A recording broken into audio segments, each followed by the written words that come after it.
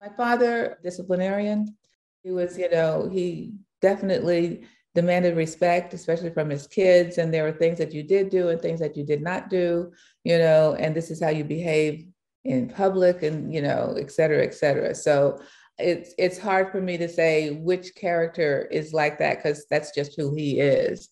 But um, I think all of his characters carried with them that that demand for respect. Well, hi, I'm Charlé Moore.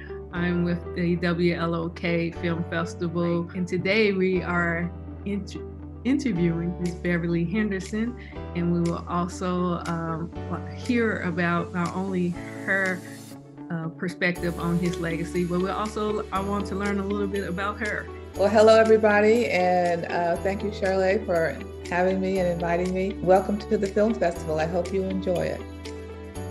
Having your dad as a movie star, how has that impacted you, or what that meant to you? My answer is basically very simple. He's my dad, and you know, he's not a movie star for me. He's and my sisters. He's he's our dad, and so um, it's. I don't know anything different. Okay, I don't know anything other than being the daughter of Sidney Poitier and, you know, still having to um, make sure I'm home before curfew and doing my homework, et cetera, et cetera. So he was a regular dad in that respect. When did you realize, though, that people held your dad into this esteem? I knew in, I guess it was middle school, maybe, or elementary school, because whenever I missed the bus and he took me to school, it was a big brouhaha because it was like, oh, is that your dad? Is that your dad? And so, um, being a middle schooler and wanting to have anonymity, as most of us do at that age, you know, was like trying to avoid that at all costs. But um, I do recall when it was bring your parents to school and let them talk about their jobs and what kind of jobs they do. And I had classmates whose dads were policemen or engineers or doctors, et cetera, et cetera. And I was extremely embarrassed because I had to say that my father was an actor. And to me, acting wasn't really a job. It looked like a lot of fun from my point of view. So it took me a while to realize that it was indeed a very serious profession and he was well regarded. What is your favorite film of your dad? I have so many. Um, I love Raisin in the Sun because of the the, the energy, and um, and because it's it's um, it reminds me very much of my childhood because I can remember going to see the play first, and then um, going to LA to shoot the movie. So um, I have a lot of personal feelings about that. Plus, my um, aunt Ruby and Uncle Ossie, not, I'm sorry, Uncle Ivan were in there, and that's Ivan Dixon and Ruby Dee. Mm-hmm. So um, I enjoy that movie just just for that, and then the storyline, etc. And then um, Buck and the Preacher. Really enjoyed that because at that time it was a very different point of view about what the West and African Americans in the West and you know, first Americans in the West. And I really appreciate that whole storyline. And again, it was fun. And I got to see Uncle Harry and Aunt Ruby again and hanging out, watching them. So I enjoyed that one. That was like a whole lot of fun. And I thought Daddy looked spectacular in it. Did you meet Mrs. Hansberry? You know, I was young. So yes, I don't have much of recall. I just remember I met so many people that were my parents' friends and um, as you can imagine, you don't have a lot of interaction with your parents' friends when you're, you know, right young person. It's like yes, ma'am, no, ma'am, you know, and all that kind of stuff. I do remember. I always wanted to be a writer, so I do remember talking to her a little bit.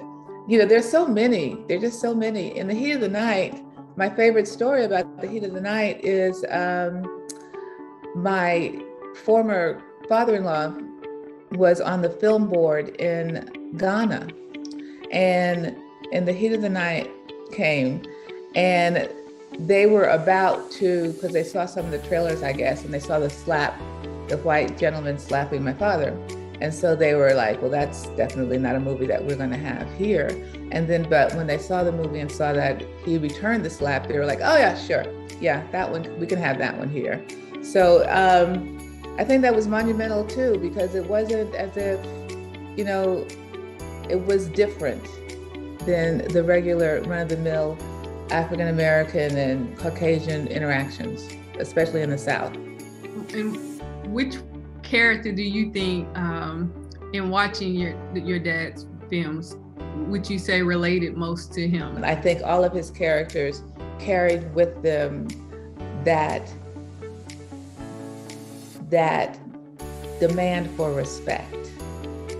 You know, and the thing that I really appreciate about all of his characters, his choices of characters, is that he was very aware of how he was perceived and the characters that he played should reflect well on his father because when he saw his name in lights, he didn't see his name, he saw his dad's name. And how has that like influenced or inspired and carried on in which how you live today?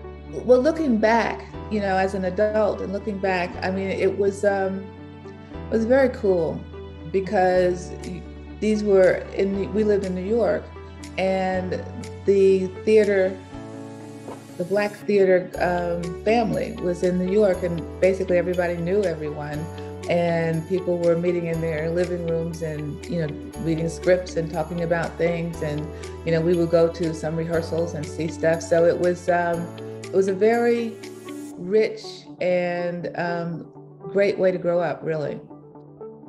Well, I think all of us, all of us are very much aware of um, our place on this earth. And I mean, not as Sidney Poitier's daughters, but as human beings.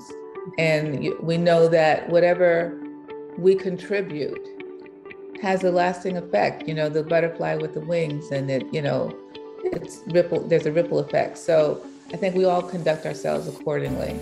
And you know we're all true to ourselves.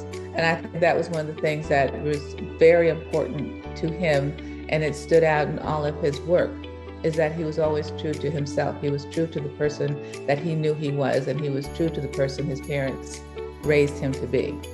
Was that something that um, he shared with you or something that you were able to learn uh, about why he selected certain roles, as it was known that he didn't want to play uh, what had been stereotypical during that time. You know, uh, what some of the important things to understand was that he grew up in the Bahamas, so it was a majority culture, and he grew up on a very small island at first. So he did not he did not experience the racism as far as being told that he was less than. So he never felt that he was less than anybody else. I think, and that's you know that's one of the things. And so he refused roles that would portray him as less than just because of his color. And you know, I think that was throughout his career, and that it's, it's just so important. Uh, since this is a radio station um, that is in partnership with this film festival, the WLOK radio station, you know what type of music he listened to, or did he have a favorite genre? He liked jazz.